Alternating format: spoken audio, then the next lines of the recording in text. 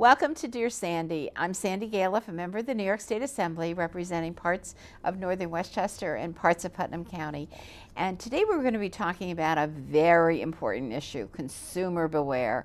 Uh, it's just incredible the number of phone calls and emails that we get or people that stop me in the supermarket and tell me about uh, the scam that, that has been going on, the newest scam. And we all need to protect ourselves and we need to know what's going on out there. And uh, for people that don't want to protect us and take advantage of our money or our goodwill or our health or whatever. And so I have as my wonderful guest, Garry Brown, who's been on my show many times. And Garry, I guess you're the statewide elder abuse coordinator. Yep. As well as the Assistant Attorney General in charge of the New York State Office um, of the Attorney General in Westchester. Correct. That's a very long title. It is. It's a mouthful, isn't it? and it doesn't get shortened. Mm. And you probably have more and more responsibilities. Um, it is, you know, I, I've invited you here because even if we talk about these issues of consumer fraud um, and and how to protect ourselves, it, it seems like we have to do it all the time. It it is it changing? Do the the systems change on us yeah. every month, every week? Sandy, we do need to keep talking about it. First of all, to remind ourselves of it, because what the scammers try to do is to trigger an emotional response. And that can happen very quickly. So you need to be constantly reminded they're going to try to push your emotional buttons. Don't let them do it. But also the trends change and the methods change, and we need to keep up with that as well. Mm -hmm. So we have, I mean, we have all these phones. We we have cell phones. We have our home phones. Uh, we have our computers. Um, I guess those are the vehicles. Did I leave something out? How people get in touch with us? Occasionally we get door to door complaints, but nowadays mm -hmm. the mm-hmm. internet is a scammer's dream. Uh, they can make low-cost phone calls to anywhere in the world. They can spoof the number so that the number you see is not really the number that called you. So if you report the call, the government has a very mm-hmm. hard time tracking it down. It's estimated that 50% of all cell phone calls in the United States this year in 2019 will be robocalls or scam calls. That's the extent of the problem. And when I go speak to the public and I meet a group and I'll ask them, how many of you got this call or that one? The hands go up. Right. Everyone's getting these calls. So I can't believe it. So with your with your cell, you were saying this cell phone that about 50% come into robocalls or scam calls, yeah. whatever. Many of the robocalls I feel like start out with something like, you know, you you don't have a credit problem, but we see that there's a credit problem and you need to yeah. do something. I don't know what that falls into. Well, the most common phone scam we've ever seen in the United States is the so-called IRS scam, the Internal Revenue Service scam, where the caller mm -hmm. says mm-hmm. he's an IRS agent, you owe money, and if you don't pay us today, we're going to come and arrest you. Now, there are aspects of this call that don't make sense. For starters, the IRS doesn't call you on the phone when you owe money, they send you a letter. Mm -hmm. Number two, they don't threaten you with immediate arrest. And number three, they don't tell you to pay your taxes by going to a pharmacy, buying a gift card, and calling back with a serial number, which is what the scammers are now doing. So there are aspects of it that don't make sense. But if you don't know it's a scam, you're going to be afraid when you get this call. You're going to be panicked. Mm -hmm. And since we're all kind of afraid of the IRS anyway, I think deep down, uh, mm -hmm. this mm-hmm. scam plays into that fear. And I actually had somebody, we were talking about this in the office the other day, and um, somebody who volunteers in my office, she said she knew somebody that had just been scammed that way. Yeah. And ended up giving $10,000. Um, and, and I don't know whether that was all in gift cards or whatever else, but I guess the fear of the IRS and doing something wrong yeah. just inspired somebody to hand over that much money? It does. It's estimated this call works between about 1 in 50 to 1 in 100 calls. So most people don't fall for it. But when you mm-hmm. multiply that 1 in 50 times the millions of calls that they're making, it translates into many, many victims who are losing a lot of money. $10,000 is kind of on the high end for that scam. It's usually a lower amount. I think the scammers figure if they ask for too much, you're going to get suspicious. Mm -hmm, but uh, it's a terrible scam, and many people have fallen for it. What's happened lately is that the scammers are using, as I mentioned, Sandy, this method of the gift cards. Up until a couple mm -hmm. of years ago, they would tell you to go to a bank or to a Western Union shop and wire the money. But the banks and Western Unions have now trained their tellers so that if you go in and you say, the IRS called me, I'm in panic, they're going to mm-hmm, warn you mm-hmm. it's a scam. So now what they do is they tell you to go to a chain pharmacy or a, a big box store, buy some gift cards, and call them back with a serial number. That allows the money to be transferred without a trace from your card to theirs, mm -hmm, mm -hmm. and the likelihood that the cashier at your pharmacy is going to warn you about this is very slim. Right. But if somebody, if you did go to um, a pharmacy and you were buying a whole lot of gift cards, are people triggered now? I mean, the staff, maybe not. You have a lot of young people that are working uh, behind the desk and so on. Do you, do you think that they do ask the question? I think increasingly they are, and I know more and more retailers are training their cashiers because the retailers, on the one hand, like the money they make off mm -hmm. the mm-hmm. sale of the gift cards, but they don't want to be the middleman in a mm-hmm, fraud. Mm -hmm. So they are training their cashiers. Uh, a colleague of mine at work had the experience of being at Walgreens lately. She was online. The gentleman in front of her tried to buy $8,000 worth of gift cards. She practically tackled him and oh said, Why goodness. are you doing this? And it turned out he had gotten one of these scam calls. Mm -hmm, but the mm-hmm. cashier, would have, he was about to jump in and do the same thing. Mm -hmm. But still, that's the method they're using nowadays, is the gift card. So basically, the, the warning now is if somebody asks you to go get a gift card, say no and no, it's, there's no value. I mean, nobody's going to do that. No. That's a in, a, in, good legal person. In fact, Sandy, the Federal Trade Commission made it illegal to ask for payment over the phone by gift card, debit card, or to wire the money. So if somebody says, oh, as soon as somebody okay. says to you, buy a gift card and call me back, you know they're a scammer, right. hang up the phone. Right, right. It's a real red flag. So what motivates, I mean, what, are there different age groups that, that fall for more of these scams than other age groups? Um, you know, I had always thought that older adults were the most vulnerable, but some recent studies have shown that millennials, on a statistical basis, are actually more vulnerable. Oh, they don't use the phone very much right. to make phone calls. They're more into the texting and the emailing uh -huh. and the messaging. So when they do get a call, they're not used to being on the phone, and they're almost in a way more susceptible uh, to these calls. But older adults are always a target especially if you're home, you tend to answer the phone, you have a landline. Mm -hmm, Historically, mm -hmm. we think of the phone as our friend, our generation the phone is no longer our friend, but the older we are, we tend to think of it in those mm -hmm. terms. Because I do know when I am home, I there were a lot of calls that come through, and now on my phone, you know, I, I do know the numbers, but as you said before, sometimes you think it's a local call, and you pick it up, and it is not. Well, what they're doing is called neighbor spoofing. More and more of us are not answering the phone unless we recognize the number, which I think is the best defense nowadays. You don't mm-hmm. recognize the mm-hmm. number, don't answer the phone. But they're trying to trick us into answering by spoofing a number that's in our area code and exchange with four other digits than our mm -hmm, own number. Mm -hmm. And they're hoping we're going to think it's a local business, it's a neighbor, it's somebody we know, and we're going to answer the phone on that basis. So the moral of the story is don't answer the phone unless you recognize the entire number.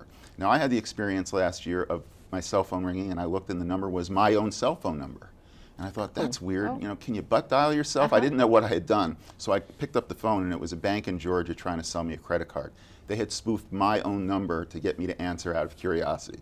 So you can't call yourself. If you see your own number appear, don't answer it. If you don't recognize the number, don't answer it. Yeah, that's so interesting. I came home last night from work, and I had three calls from Sandra R. Galef on, on my phone when I started, mm -hmm. and nobody was there. I bet I, I bet somebody used my name on that. Yeah, they're trying yeah. to spoof you. The caller yeah. ID spoofing has made it really hard to track these people down because the number you see, the number you would report to the mm -hmm. government, is not really the number that called you in the first place. So it's made enforcement very, very difficult. Now, not answering the phone is not a perfect solution. A few months ago, my cell phone rang. I didn't recognize the number. I proudly didn't answer the phone few minutes later, I see there's a voice message, and it was the Attorney General calling me urgently about a case. so I called her right back. She, she laughed and she understood. So it's not a perfect system, but for the moment, it's really the best one right, we've got. Right, just not answer. Okay, let's talk about um, Social Security, because uh, I had a phone call. I'm, I'm driving to work today, mm -hmm. and I had a phone call uh, from New Hampshire. And my sister lives in New Hampshire, so I said yes shouldn't have said yes, but anyway, I did.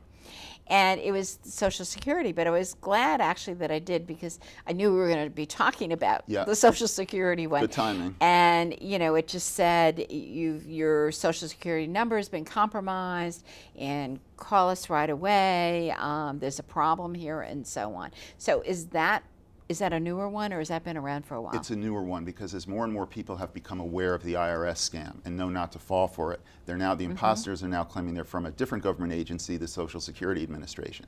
And they either say that your Social Security number has been compromised or that if you don't pay a fee, your, your benefits will stop. There's a couple mm -hmm, of mm-hmm, different mm -hmm. variations on it, but I think what they're basically doing is tweaking the scam a little bit away from the IRS toward another government agency uh, the Social Security Administration. So wow. I got a call recently from someone who said, Garry, you should be able to catch these guys this time. Because he said to me, I have the number that appeared on my caller ID right. when they called. They mm -hmm. gave me a street address in El Paso, Texas, and they also gave me a callback number. So can't you go to Texas and bust them? Well, the number he saw on his caller ID was a spoof number. It wasn't really the number uh -huh, that called him. Right. The address in El Paso was a fictitious address, and the callback number they gave him was the Federal Drug Enforcement Administration. but the caller okay. claimed it was the Social Security right, scam. Right, right. So is there a way to find, is anybody ever found that's doing these you know, kinds of things? Occasionally there's a bust. These calls tend to originate overseas. In 2016, mm -hmm. there was a major bust of an IRS scam ring making calls out of Mumbai, India. I think 370 people were arrested. No money was recovered, however. It's very difficult to trace these calls. They're made from foreign countries, so right now our best defense is don't answer the phone if you don't recognize the mm -hmm, number. Mm -hmm. If you do answer the phone and someone starts asking for personal information, we urge you to think of the phone as a one-way street. You don't give out personal information unless you dial the number you know to be right. the correct number of your bank, your credit card company, a government agency. If somebody mm -hmm, calls you and wants that info, hang up. So for example, people will say that we all get the call from the credit card company and it says, looks like there are some unauthorized charges on your right, account. Right, Hang yes. up, get out your credit card, look up the toll-free number, and dial that number. Mm -hmm, if it mm -hmm. turns out they really were calling you in the first place, no harm, no foul. You made an extra phone call. But if when you call the credit card company and they say it wasn't us, it means that 1st mm -hmm, caller was mm-hmm. a scammer. Right. I remember um, I, uh, calling, I guess it was a bank I called just to be sure because I'd gotten something you know, on my, my email from a bank. And so I just went down to my local branch and said, what's going on yep. here? And they told me, oh, you know, this is you know, they, they were trying to get into your head somehow yeah, with this yeah. banking issue. Yeah. So, so it's um, all about emotions. And a lot of times, Sandy, as I'm giving a presentation to a group of older adults, I can tell from the look on their faces that they're thinking, why is he wasting our time with this stuff? Anyone who would fall for one of these scams is stupid, and I'm not stupid, so what do I have to worry about? but it's really not about intelligence at all. It's about emotions. Right. If they can push that emotional button, you're more easily manipulated. And the story I like to tell just to demonstrate that it's not about intelligence is the biggest con artist in the history of our country was Bernie Madoff. He stole over $50 billion. Mm -hmm. And he stole it from some of the richest, smartest, most sophisticated investors in the world. So if those people right. could fall for a Ponzi scheme, it's hard. It's not hard to believe that any of us could fall for the right call if the caller pushes the right emotional right. button. Madoff pushed the greed button. Greed is mm -hmm, a powerful mm -hmm. emotion, but so is mm -hmm, fear, mm-hmm. so are love, and other emotions as mm-hmm. well. Well, I, I, I, whether I'm smart or not, I don't know, but I sit in front of my computer, and I don't always know how everything works. Yeah. And I'm sitting there one night having a lot to do, and I have this big red screen that comes up on my computer. Mm -hmm. And it has a number in the middle call this number. So, not knowing what to do, how to get rid of this red screen, I learned later on I just should turn off the computer. Yeah. it would probably go away. But I called the number, and that started that whole process of somebody in some other country helping me with a, with the tech. But I've been helped before by people legitimately when I've right. called that are from other countries. We must have people that that really do a lot of the uh, internet uh, activity that you know, Indian so on, so on. But so that didn't you know concern me so much. But I realized I was starting to get into this whole thing. Let us take over your numbers yeah. and so on.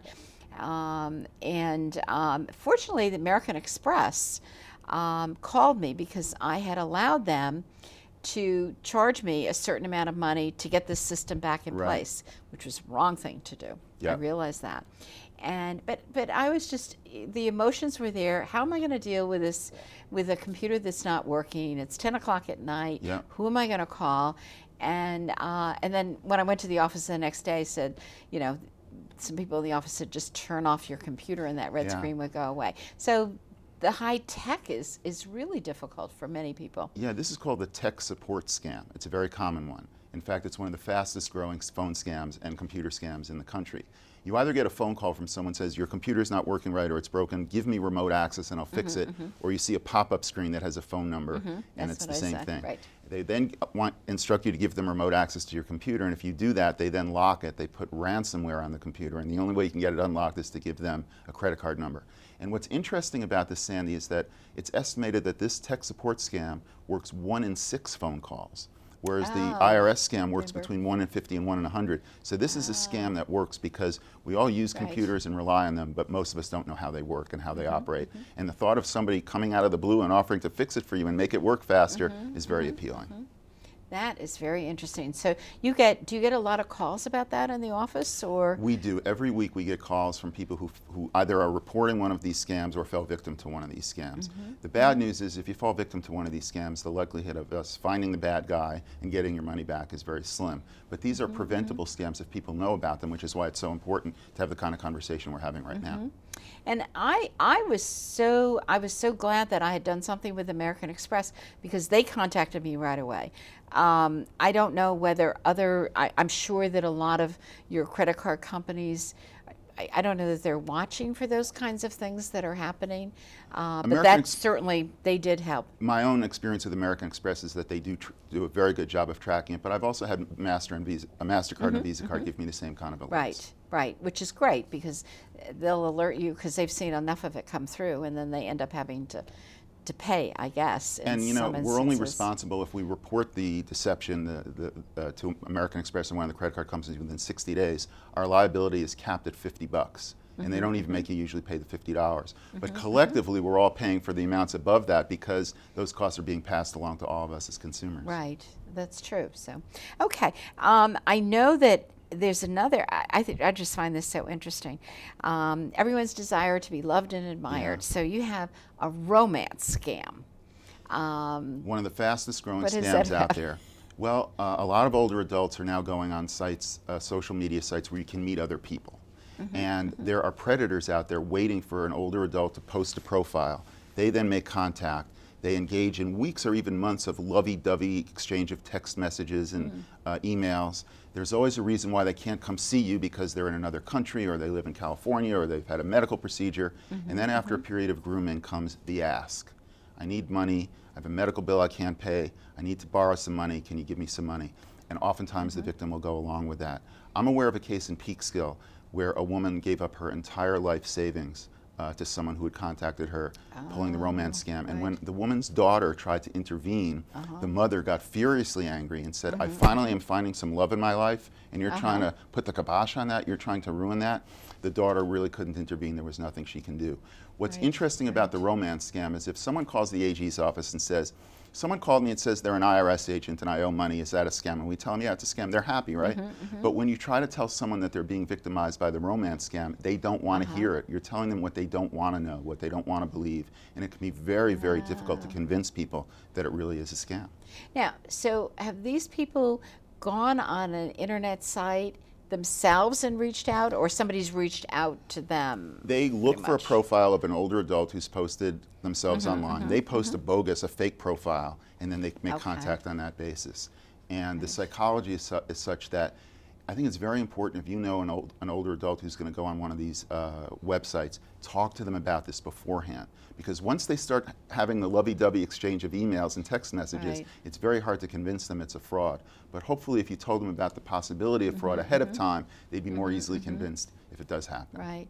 So how long does it take for the the person committing the fraud to start to ask for the money? Does that happen fairly quickly? It usually no. It usually takes a few weeks, maybe eight weeks, three months, something in that Oh, range. They okay. Mm-hmm, want to build up that level of trust because they know once they can do that, the person will keep sending money. Mm -hmm. So they send the first thousand dollars because I need this, and then it's another another and then one. on and on. And how do they keep convincing the person that I can't come and visit you? They've got a story, medical procedure, business uh, uh, emergency. There's always a story, and people so much want to believe they've met someone who loves them that they'll sometimes go along with that. That The Federal Trade Commission estimated that in 2018, last year, there were 21,000 victims of romance scams in the United States who lost over $100 million. And people over the age of 70, the average loss was $10,000 per victim. And bear in mind, Sandy, that that $21,000 figure is just the tip of the iceberg Right. because most victims don't want to tell anyone. They don't want to report it to government. They don't want to Right. admit it. So that's just a, a small fraction of the real Right. number of victims. I know when I've had um, my senior forums, and I, I just remember one who was uh, had by he'd had a co-op arrangement in Florida, whatever, and he he actually got up and he said, "I'm so embarrassed to talk about the fact that." Um, I was conned into Yeah. buying a share of, of something which was not even a Yeah. real thing. Yeah. Uh, embarrassment is part of it. Shame, humiliation. Sometimes it's denial. People just don't want to mm-hmm. believe they're being victimized. But I think there's another thing that I've learned, Sandy. I gave a presentation a couple of years ago up in New Paltz, and a woman came up to me afterwards from the audience. She had fallen victim to the grandparent scam, where the caller mm-hmm, pretends to be your mm-hmm, grandson, says he's been arrested, needs money. She sent the money. And she started thanking me, and I couldn't understand why. And she said to me, You're the first person I've ever told, and it feels so good to get it off your chest. Oh, so I right, said, Really? You didn't tell your adult children? No. You didn't tell your grandson? No. Why not? She said, Because if they knew I fell for this scam, they'd think I'm losing it. It's time to take over oh. my finances, put me in assisted living or a nursing home. She said, I would never tell them. I would uh-huh. rather suffer the, the loss of money in silence than risk the loss of self control that I fear would happen if I told anybody. But imagine how terrible it must feel to be a victim of a crime and not feel you can tell someone. If someone steals your car, you call the police, right? If someone Right. burglarizes your house, you call the police. Right. But if you fall victim to one of these scams, people are very reluctant to report it. Very interesting. That first, I didn't have the grandparent scam, but I, I did have, um, I, I guess I must have gotten an email um, about a friend of mine Ah. who was stuck in London. Uh, all of her, all of her pocketbook was taken, and so on. Could I send some money and Yeah. help her? So, um, you know, I fell for it, but my response was, since I'm in government, I said to the email, uh, no, thinking that this was my friend, um, you know, just call Nita Lowy's office. Here's her number Right. because she she's a federal uh, legislator and she can help you with the embassy in in London. Yeah. I'm sure the person at the other Yeah. end thought this woman is must be crazy. But uh, in my response, but I was totally then I then I called my friend and to find out. Are you okay? And she wasn't in London, Right. and she said, "You know what? Somebody stole all my emails." Yeah. And so, Someone hacked into her email account and then sent an email in her name to all Mm-hmm, the people in the address book saying, I've been mugged or whatever it was Right. in London and I need money. Um, so, first of all, the first thing she needed to do was to change her password to get Which the she did, scammer out. which she did, yes. But um, it shows that maybe her password had been a, a vulnerable one, a soft one in the first place. So one of the most important things we need to do nowadays is to figure out how can we come up with a strong password that we can remember and no one else can figure Right. out. And the problem that I I think the mistake some of us make is we choose a word that is easy to remember but too easy to figure out. Mm-hmm. So if your password is your mm-hmm. grandchild's name, your street mm-hmm. address, your date of birth, anything someone could Google about you, that's a weak password. You want to come up mm, with another one. So one of the suggestions we have is to think of a song, a poem, a figure of speech you'll never forget, and make an acronym out of the first word of each, uh, first letter of each word. So for example, the Gettysburg Address began four score and seven years ago. So if you made an acronym FSA, SYA, and maybe added a number four and seven, since they're the numbers from the figure of speech from the speech, Right. you'll be able to remember it. You'll be able to recreate it even if you can't remember FSA, SYA. So my mom, her password for her Gmail account is the first letter of each of the famous lines from Hamlet. To be or not to be, that is the question, and then mm-hmm, there's a mm-hmm. number. And if I say, Mom, what's your password? She can't spit it out off the tip of her tongue, but when she has her iPad in front of her, she can Right. tap it out and it works Right. for her.